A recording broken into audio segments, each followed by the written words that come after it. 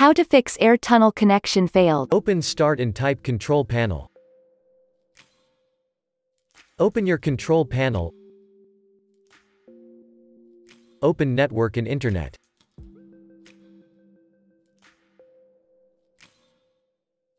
Open Internet options.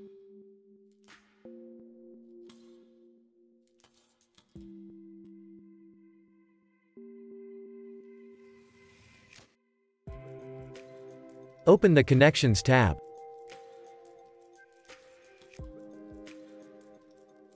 Go to Local Area Network Settings. Click on LAN Settings. Uncheck Use a proxy server for your LAN. Press OK. Press OK. Restart and your problem should be fixed.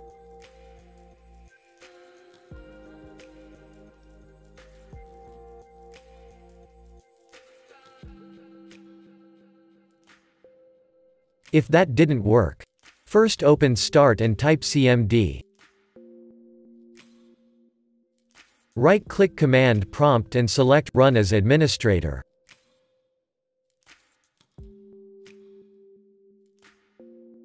Press Yes.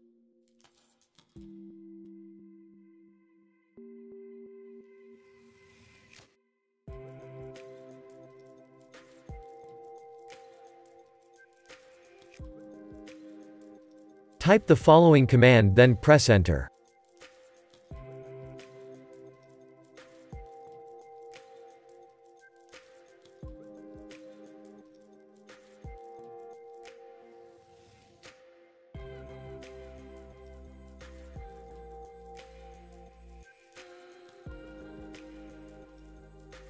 Now type this command and press enter.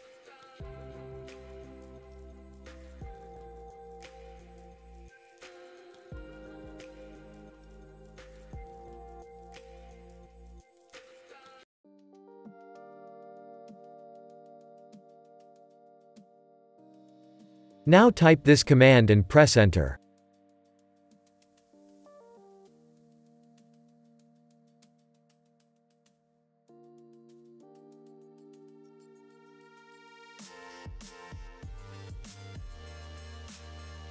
Type exit and press enter.